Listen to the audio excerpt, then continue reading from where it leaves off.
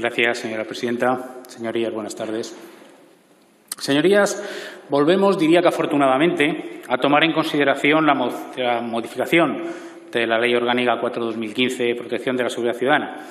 El ejercicio, finalmente estéril, de la legislatura anterior nos dejó un amargo sabor de boca a los que fuimos ponentes de la modificación de esta ley. Estuvimos muy cerca de obtener un texto que mejoraba significativamente la actual Ley 4-2015 y que hoy nos vuelve a proponer modificar el Partido Nacionalista Vasco.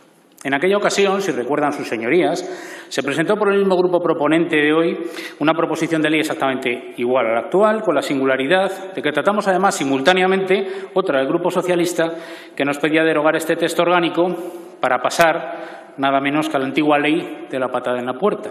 Sí, aquella del ministro Corcuera, señorías.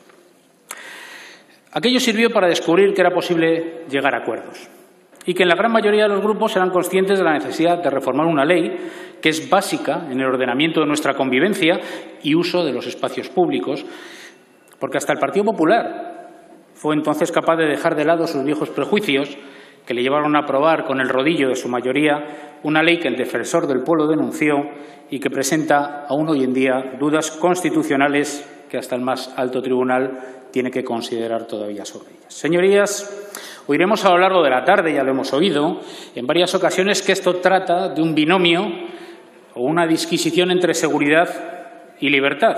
No se confundan, no hay binomio alguno. Esto solo va de libertad, de libertades individuales. Porque la libertad, señorías, es seguridad. Son dos caras de la misma moneda. Una libertad amenazada no es libertad. La libertad, si no está protegida, no puede ser garantizada y quien es libre a veces sí y a veces no, pues no es verdaderamente libre. Solo donde hay garantías está la verdadera libertad. Y donde no hay seguridad, señorías, solo hay arbitrariedad y ley de la selva. Y es que la ley, y solo la ley, es la que nos hace a todos iguales y permite que tengamos derechos. No hay derechos ni, por tanto, libertades sin la ley. Aquellos que piensan que hay una ley para el resto de los ciudadanos y no para ellos, aquellos que se la saltan y la incumplen, queriendo ampararse en privilegios, en ensoñaciones identitarias, en mandatos históricos, no tienen cabida en esta democracia. Ayer mismo veíamos como alguien como el señor Torra, que se ha caracterizado por su supremacismo, por creerse impune, se topaba con la ley y con el Estado de Derecho.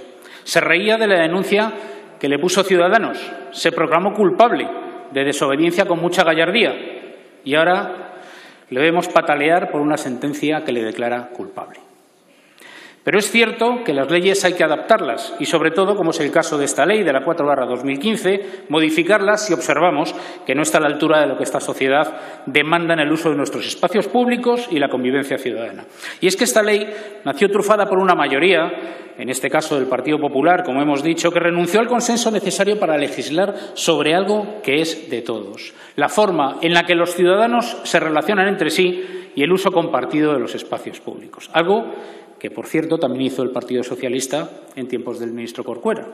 Los viejos partidos, señorías, siempre usaron sus mayorías para hurtar al resto la posibilidad de acordar y consensuar. Afortunadamente, ese tiempo ya pasó. Hoy volveremos a escuchar palabras gruesas, ya lo hemos hecho, de algún portavoz sobre esta ley. Yo creo que va a ser, es injusto, porque seguro que se centrarán sobre todo en el trabajo de nuestras fuerzas y cuerpos de seguridad del Estado, como ya lo han hecho. Volverán a atacarlas e injuriarlas. Hablarán de la libertad de escrachar, salvo que sean ellos los objetivos del acoso, de violencia policial, salvo que sean ellos los que la ejercen contra funcionarios públicos y sus familias, de brutalidad, salvo que sean las bombas y los tiros en la nuca de una abyecta banda terrorista que señores como los de Lilu se niegan a condenar injusto, porque si algo desean también los hombres y mujeres de nuestras fuerzas y cuerpos de seguridad del Estado, es una ley clara, clara, señorías, que proteja a todos, a los ciudadanos en el ejercicio de sus derechos y libertades y a los profesionales que velan por el cumplimiento de la ley y que garantizan que los espacios públicos son de todos y para todos. Creo que debe ser ese el debate que realicemos. Parece mentira que tenga que volver a ser otro grupo parlamentario distinto del Gobierno el que traiga a esta Cámara la posibilidad de ejercer de verdad un consenso sobre algo tan fundamental como la ley que gestiona y restringe los derechos propios de los ciudadanos, señores del Partido Socialista, han perdido ustedes una estupenda ocasión de haber presentado un proyecto de ley del Gobierno con el consenso que ya se alcanzó en la legislatura pasada, con los informes pertinentes del Consejo de Estado, para hacer de verdad borrón y cuenta nueva de esta eh, ley. Nosotros, nuestro grupo, votaremos a favor, ya lo hicimos en la toma en consideración en la legislatura anterior. Pero, señorías, apostemos por una ley mejor. Seamos capaces de hacer una ley más respetuosa con los derechos y las libertades fundamentales de nuestra Carta Magna y que garantice la seguridad de nuestros ciudadanos. Y, sobre todo, señorías, dialoguemos con cordura y con serenidad, sin demagogias, esforzándonos para alcanzar un acuerdo sensato que pueda constituir un punto de partida de verdad para una mejor ley de seguridad ciudadana, una ley para todos, una verdadera ley de libertades que no obligue a los ciudadanos a elegir entre libertad y seguridad como algunos quieren traer hoy. Muchísimas gracias, señorías.